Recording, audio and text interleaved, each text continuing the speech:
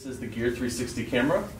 Um, what you see here is two 195 degree lenses um, that can actually stitch together a, a you know, full fisheye image so that what you end up with is a full 360 degree image.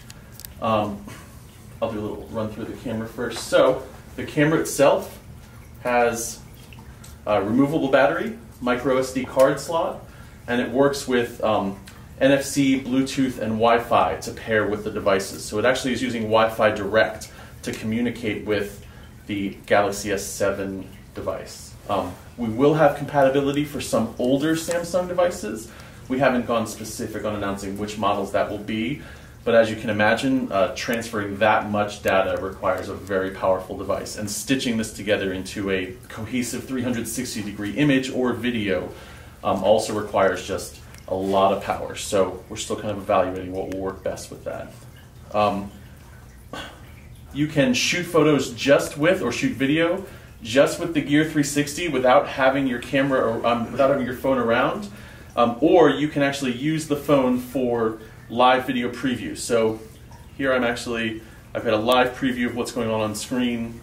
I can control it from here. And the cool thing is, something that really kind of hasn't been done easily before on VR is that I can set the camera down here and then I can hide so that I'm not in the shot. Um, because filming VR, you don't want the director, the boom mics, everything like that in the shot. So I can set it up over here, I can see my live preview, and then I can go into another room. So I'm actually going to, we'll take a, couple seconds of video. Uh, everyone please wave. I can't wave because I'm holding the camera. Okay. And I'll show you how this works.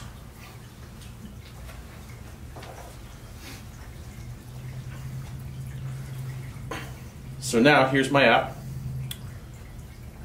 And I can preview it here, or I can save it directly to the device. Um, then I'm going to stitch it together. It takes about three seconds to stitch every second or so of video.